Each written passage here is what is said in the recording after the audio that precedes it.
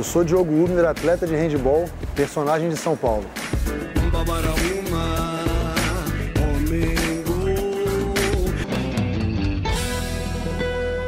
A minha infância foi uma, uma infância bem tranquila, na verdade.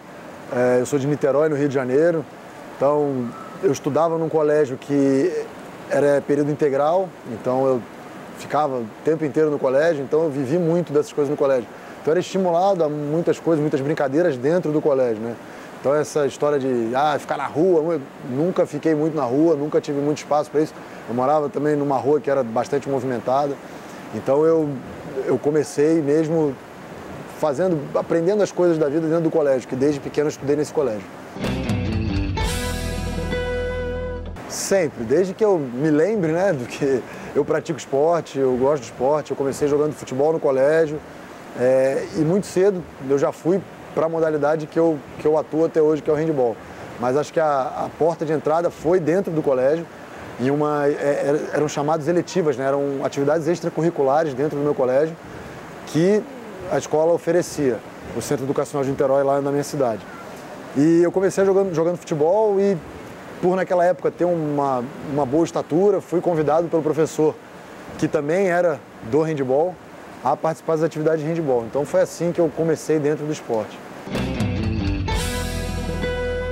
Na minha cidade, é, lá em Niterói, existe um, uma tradição muito grande do handball. Né? Tem um clube que se chama Niterói Rugby, né, futebol clube, que apesar do nome do rugby, ela, a, a, equipe ela é, tem existe a equipe de rugby e existe a equipe de handball. E eu lembro que em 1995, aos 12 anos, eu fui convidado a participar dessa equipe, de começar a integrar essa equipe para uma viagem, uma competição em Curitiba. Então recebi a carta em casa, tudo bonitinho. Foi, eu lembro disso, foi muito legal, porque foi acho que o primeiro reconhecimento do meu trabalho. E, e a partir dali eu comecei a, né, a evoluir de uma maneira muito legal e comecei a, a dar saltos maiores na minha carreira. É, meus pais são separados e no começo da carreira eles me ajudaram muito, na verdade acompanham até hoje, mas no início era tudo muito difícil, então a gente não tinha dinheiro, o clube não tinha dinheiro para pagar as viagens. Então o que eles faziam? Os pais se reuniam, faziam rifas, faziam churrascos, e os meus pais se envolviam muito nisso, principalmente minha mãe. Meu pai acompanhava muitos jogos, filmava. Eu tenho jogos dele muito pequeno jogando, porque meu pai ia lá com a câmera dele filmava. Então, assim, sempre me incentivaram muito, me deram muita força para eu seguir no esporte.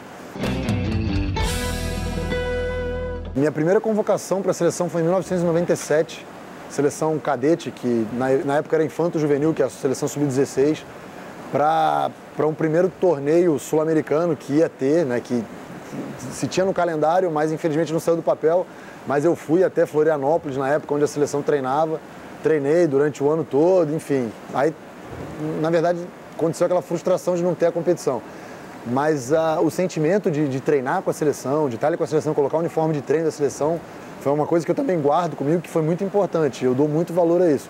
Então, acho que meu, o meu primeiro contato com a seleção foi em 1997, com a seleção infanto-juvenil na época, hoje cadete, sub-16. As coisas foram acontecendo de uma maneira muito natural. Eu lembro que de começar a ver alguns jogos na TV, os primeiros jogos televisionados de handball, em 1996, em 1997. Eu lembro muito do Mundial do Japão em Kumamoto, em 1997, que foi televisionado e não ao vivo, mas eu conseguia ver e eu, eu comecei a. aquilo começou a me aguçar uma vontade de, poxa, queria estar ali, queria né, poder participar de uma competição dessa, queria poder ser da seleção brasileira. Então acho que não teve um, uma coisa que falou, ah, agora eu quero virar jogador de handball. Não, as coisas foram acontecendo e eu fui indo muito atrás, gostando cada vez mais do esporte, me informando da maneira que tinha. Naquela época a gente não tinha muita informação, não existia internet, a gente, a gente conseguia fitas de jogos internacionais assim raras, e aí via, ficava vendo até gastar a fita toda, porque era muito difícil ter material. Então, acho que não teve um, uma coisa específica que aconteceu. Acho que foram uma somatória de fatores que me levaram a gostar mais ainda do esporte. Eu lembro que em 1995 eu fui para um campeonato na Argentina, é, junto com a minha escola na época, e, eu lembro que eu fiz o gol do título. Então, né, na minha cabeça, uma coisa magistral, né? Todo mundo pulando em cima de mim, realmente. Todo mundo invadiu a quadra, pulou em cima de mim. E depois de muito tempo, meu treinador, meu primeiro treinador, veio com um quadro com essa foto. Né? Então eu já jogava aqui em São Paulo, já era profissional de handball, e ele veio com essa foto desse, desse lance. Então, eh, esse, esse lance eu acho que marcou bastante, assim, acho que né, me deixou marcado com o gol do título internacional, pela escola. Então, na idade, você fica, aquilo te, né, te motiva cada vez mais. Então, se for para escolher algum lance, eu acho que esse, esse fica, fica na memória. Em 1998 existia um campeonato de seleções. Então, existia esse campeonato de seleções sub-16 também, cadete, né? E eu fui com a seleção carioca e fiz um campeonato muito bom. E um olheiro de São Paulo, na verdade, da equipe que eu jogava, que eu vim jogar São Paulo, em São Paulo, olhou, pegou meu contato e a gente conversou e em 1999 eu recebi esse convite de vir para São Paulo. Então, eu sabia que em São Paulo era, é e é até hoje o maior polo de handball, onde a gente pode encontrar as melhores equipes, melhor, as melhores estruturas para se treinar, as melhores competições. Então, eu sabia que se eu quisesse crescer naquele momento, eu precisava dar um passo a mais, um passo maior na minha carreira. Eu vim para cá sozinho, com 16 anos, e enfim, eu acho que eu não tive maturidade suficiente naquela época para suportar essa distância de casa, né? Tudo muito fácil em casa, né? tudo na mão, colinho da mãe, aquelas coisas. E eu não consegui lidar bem com isso. E acabei retornando ao Rio, voltei para minha equipe do Niterói Rugby. E aí em 2000 eu fui convidado para jogar na equipe do Vasco da Gama, que fez um projeto olímpico por conta das Olimpíadas de Sydney em 2000 e contratou os melhores atletas de todas as modalidades do, do país. E aí eu acabei que eu me enquadrei nesse time, na equipe juvenil ainda, mas podendo treinar com a, seleção, com, com a equipe adulta, que era a base da seleção adulta na época. Então foi uma experiência muito válida. E o meu retorno para São Paulo só se deu em 2002 né? Que aí foi o meu retorno definitivo. Eu vim para São Paulo, para a equipe da Metodista em 2002 e aí estou em São Paulo até hoje, né? Até já são, já vão aí 15 anos de São Paulo.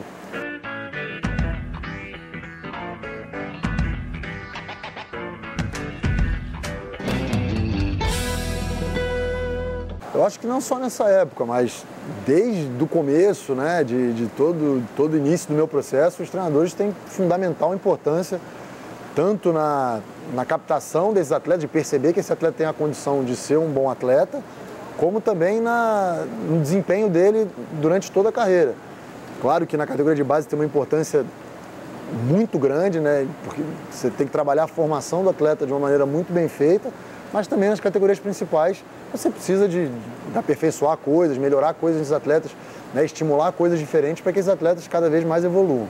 Então, a, a, a importância do treinador ela é fundamental para qualquer equipe.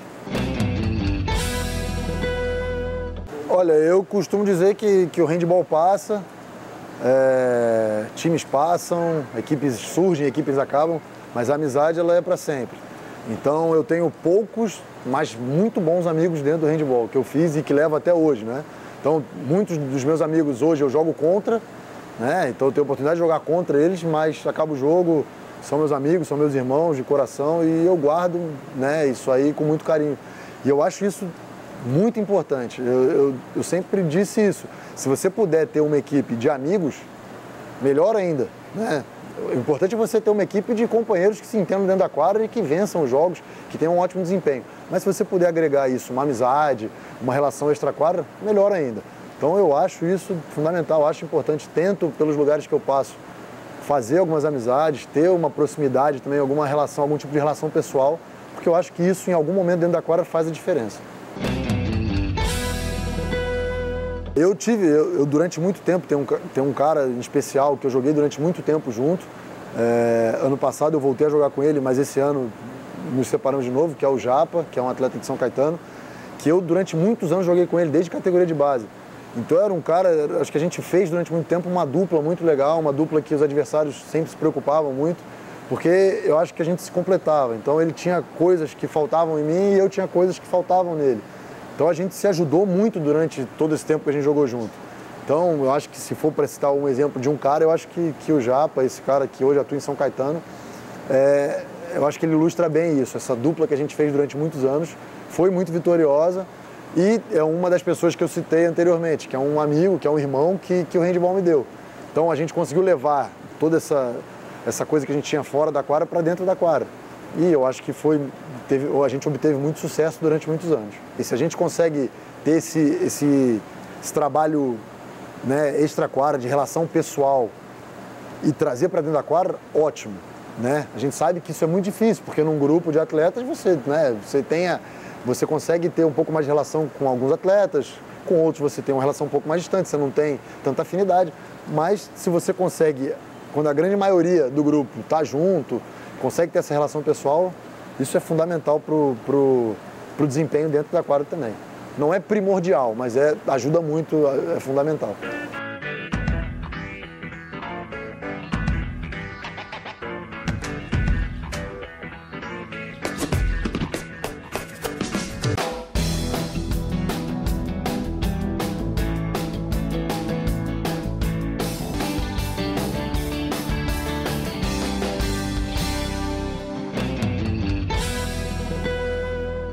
Joguei muitos campeonatos em todas as categorias, principalmente com seleção, que é onde os olhos né, das pessoas estão mais voltados.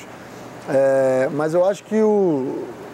E acabou culminando com o título, acho que a, o de maior expressão foi os Jogos Pan-Americanos de Toronto, em 2015, que a gente venceu a Argentina na prorrogação, é, num jogo muito complicado, um jogo que eu sempre falo que eu fui do céu ao inferno em, em 10 segundos, porque eu estava muito bem na partida, é, e no final da partida, com o cronômetro quase zerado, cronômetro zerado, eu tive um tiro de 7 metros, que é o pênalti do handball para cobrar, e eu falhei.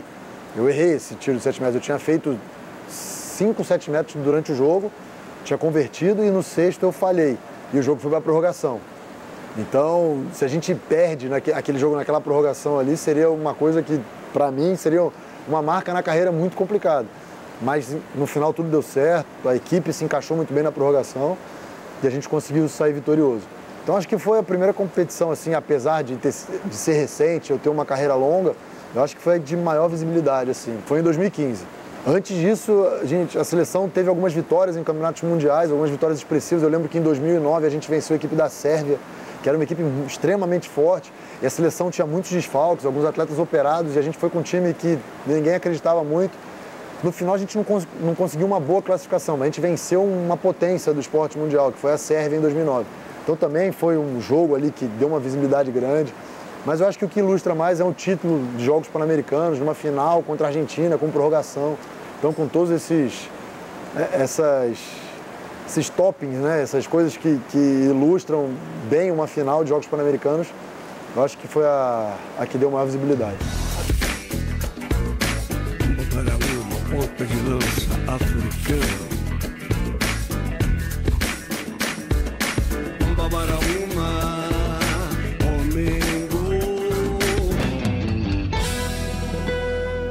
É sempre diferente, é sempre muito importante, mas eu sempre digo que quando a gente consegue tirar essa, essa rivalidade, a gente consegue sair melhor. Então, eles são os mestres em fazer um jogo mais truncado, um jogo mais de provocação. E quando a gente consegue limpar isso, tirar isso e só jogar bola, a gente consegue obter bons resultados. Então, ultimamente, a seleção tem conquistado bons resultados contra a Argentina. Os últimos confrontos a gente venceu praticamente todos. Então, a gente está num caminho muito bacana, assim, de, nesse confronto Brasil-Argentina. Mas é um jogo especial, é uma, é uma coisa especial que a gente traz, principalmente do futebol, isso. Né? Então, é muito bacana, muito legal. Durante todo o ciclo olímpico a gente teve também resultados muito expressivos, a gente conquistou uma colocação muito boa no Mundial da, da, Espanha, a gente foi eliminado por apenas um gol pela Rússia nas oitavas de final, foi uma coisa muito bacana. E durante todo o ciclo olímpico a seleção ela teve ótimos resultados, né? Acho que a gente saiu de um, de um escalão lá para baixo para entrar num escalão intermediário durante os Jogos Olímpicos. E culminou né, dentro do Rio 2016, dentro da Olimpíada, com vitórias né, fantásticas, vitória sobre a Alemanha, vitória sobre a Polônia, que são seleções do primeiro escalão mundial e a gente conseguiu vencer. A Alemanha era até então a campeã europeia. A gente venceu a Alemanha dentro do Rio, a gente teve uma boa classificação, ficou em terceiro lugar no grupo. O único problema é que a gente pegou a, a, até então atual campeã, a, até então atual bicampeã olímpica que era a França. E aí foi um jogo complicado que a gente conseguiu levar ali até os 15, até os 15 minutos do segundo, do, do segundo tempo. E aí no final prevaleceu a maior experiência, a equipe mais rodada deles. Então foi um ciclo olímpico de muito aprendizado, de muita dor, de muito sofrimento para poder estar nos Jogos Olímpicos, para poder fazer um bom papel nos Jogos Olímpicos, mas que foi tudo muito recompensado com uma bela participação nos Jogos. Eu fiz, acho que, se eu não me engano, os últimos dois jogos, os, dois, os últimos dois gols da partida fui eu que fiz. Um que ficou emblemático, que eu dei um tapinha, fiz um gol de tapinha, que no handball não é uma coisa muito comum. Então eu consegui lá num rebote de bloqueio, eu consegui dar um tapa e consegui fazer o gol. E eu lembro do ginásio vindo abaixo e o banco todo nosso dando risada, porque é uma situação inusitada, num jogo como aquele, num momento como aquele. Então foi uma coisa muito, muito gostosa de sentir naquele momento e poder ajudar a equipe a conquistar essa vitória.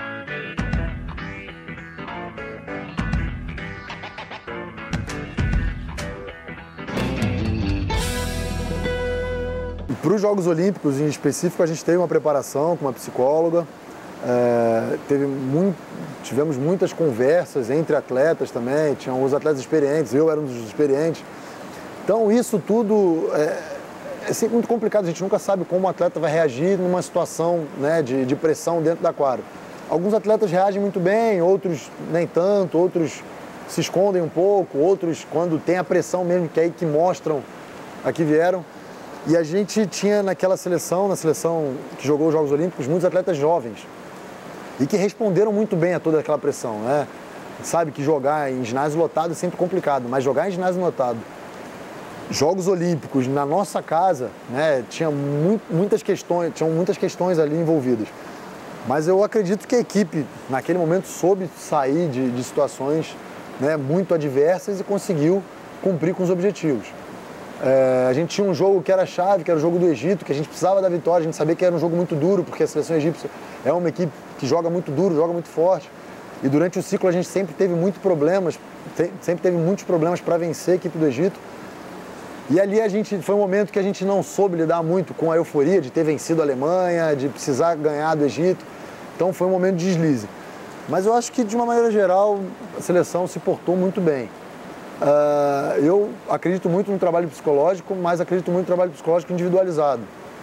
Né? Então, talvez, se um dia eu for treinador, talvez eu vá precisar de auxílio de uma psicóloga, mas não para fazer um trabalho conjunto, mas para saber quem eu vou colocar, as peças que eu vou colocar na minha equipe. Sabe que a gente precisa de diversidade dentro da equipe.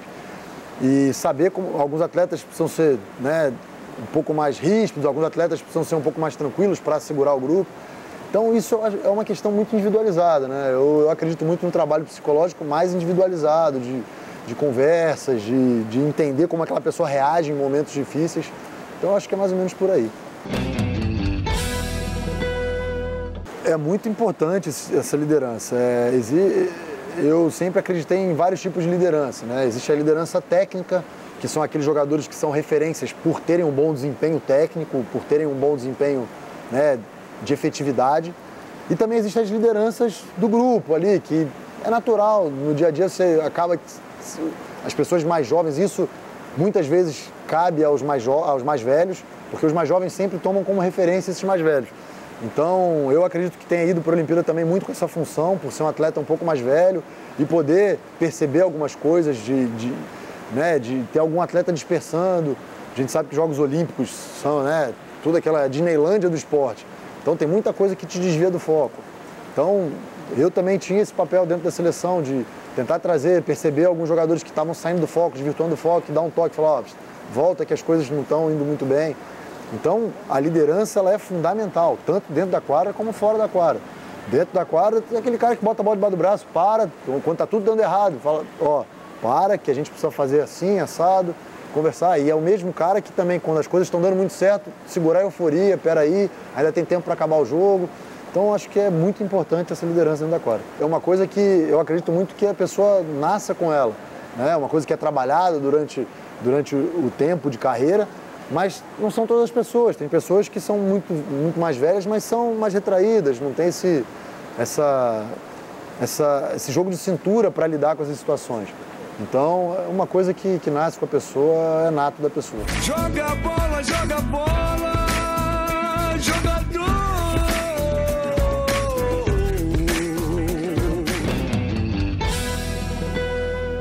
tem papel fundamental. Se, é o principal líder da equipe, né? Então a equipe é muito espelho do que é o treinador. Então se o treinador numa derrota joga todo mundo para baixo, bota todo mundo no buraco, o problema vai ser dele e da equipe para poder né, sair desse buraco, para poder melhorar as atuações nos jogos seguintes. Principalmente quando tem uma, um, uma competição de, de tiro curto. Então agora a gente voltou do Pan-Americano de Clubes há pouco tempo atrás e, e, a gente teve cinco dias de cinco jogos, cinco dias, cinco jogos, cinco finais. Então a gente era pontos corridos, a gente não podia ter nenhum tropeço durante a competição.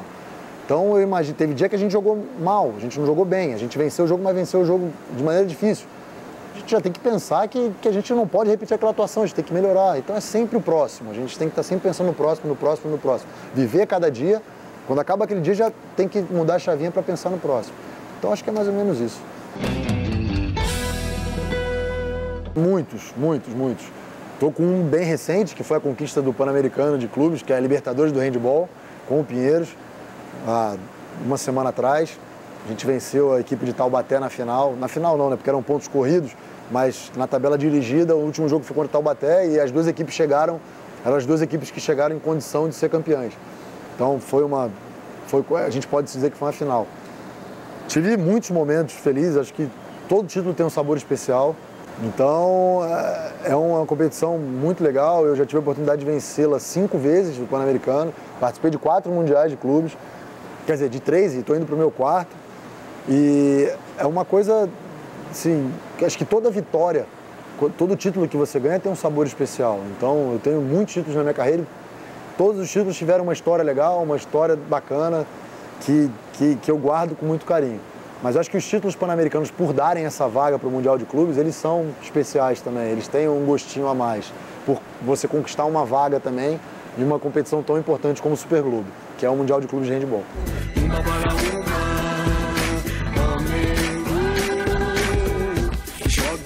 Bola, jogador, joga bola, corocondô, joga bola, jogador, joga bola, corocondô. Estou indo para minha quarta para minha quarta participação no Super Globo com Pinheiros e espero melhorar essa classificação, espero né, sonhar no Custanado, a gente sabe que é muito difícil, principalmente as equipes europeias, elas são muito fortes, vivem o handball de uma maneira extremamente profissional, são as melhores equipes do mundo mas sonhar não custa nada, trabalhar não custa nada em busca disso. Então, quem sabe aí um, um título mundial seria fantástico. Na verdade, não está me faltando nada. O que eu tenho ainda de sobra é vontade de continuar jogando, é motivação para sair de casa todo dia treinar cada vez mais, melhorar cada vez mais. Porque as competições que, eu, que estavam ao meu alcance jogar, eu joguei. É, os títulos que eu poderia conquistar, eu conquistei, que estavam ao alcance das equipes que eu, que eu estava, eu conquistei. Então, assim, eu sou um atleta extremamente realizado. Mas eu sempre quero alguma coisa a mais. Então, é o que me motiva todo dia a levantar, é melhorar. É um desafio comigo mesmo. Então, é o que me motiva todo dia a levantar, melhorar e cada vez mais né, seguir com os meus projetos pessoais, com, com, os meus, com os meus objetivos que eu crio a curto, a médio e a longo prazo.